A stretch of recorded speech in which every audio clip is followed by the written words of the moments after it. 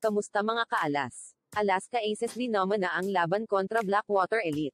120, 82, 838 points deficit. Sa pangunguna ni Barkley Evanya, the rookie. Tara at pag-usapan natin yan. Just comment below. Shout out kay James Michael Bonillo. Isa sa mga solid Alaska Aces fan at viewers natin. Salamat sa iyo kaalas. A one-sided game won by Alaska, with only 7 turnovers, and grabbed 55 rebounds. The rookie, Barkley Evanya, 24 points.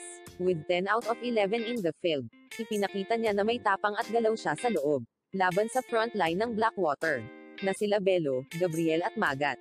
Nagkaroon na ng kumpiyansa ang bata. Sana madala niya ito next game. Versus rain or shine. Dito tatapatan niya ang bigatin front line ng mga Rose. Na sila Bo Belga at Norbert Torres. As Coach Jeffrey Carriaso said about Evanya, We are happy with the growth of Barkley.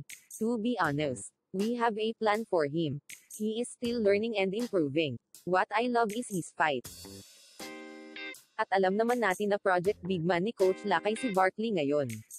This picture was taken 2014 with young Danny Ildefonso at very young Barkley Evanya. Samantala, wag natin kalimutan, Robbie Herndon. Very consistent ang kanyang laro for consecutive three games. Herndon scored 21 points in this game, with 5 out of 7 in the three-point line. If ganito lang sana lagi ang ipapakitang shooting percentage ng mga alas. At ganito ang rebounds at turnovers. Siguradong madami pang ipapanalong laro ang Alaska. Ito naman ang box score ng Alaska. Lahat sila umascore ng larong ito. Next game, Alaska Aces versus unbeaten team, with 3 wins and 0 losses. Rain or shine Elasto Painters. Matinding laban at hamon ito mga kaalas. JV Mopen, Ray Batak, James Yap, Gabe Norwood, Norbert Torres, at Bo Belgo. Laban sa mga alas.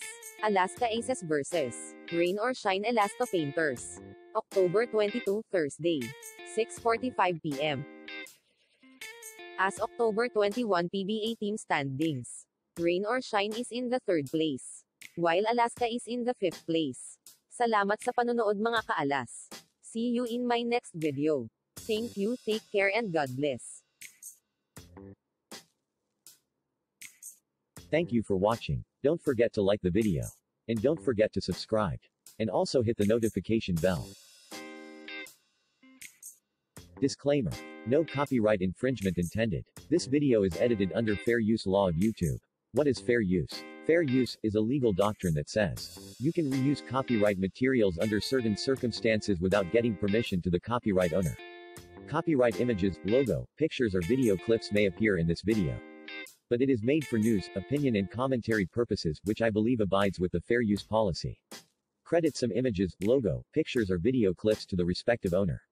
I did this video based on my own opinion and my own research.